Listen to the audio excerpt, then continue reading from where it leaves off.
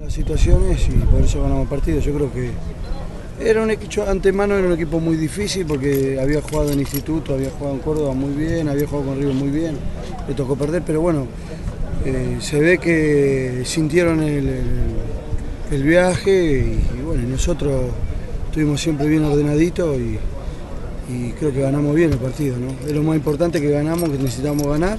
Después del último partido que nosotros empatamos allá al último minuto, que nos dolió bastante, bueno, sacaron la bronca hoy y ganamos 4-0, gracias a Dios. ¿Qué es lo que más te gustó del equipo hoy?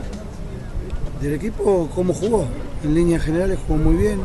Los que entraron, eh, entraron muy bien. eh, en la cancha se ayudan muchísimo.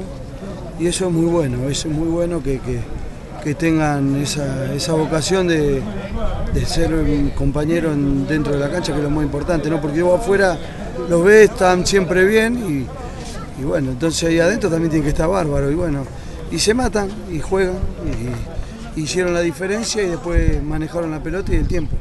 Hoy se lamenta por los puntos que se perdieron el otro día con Chacarita.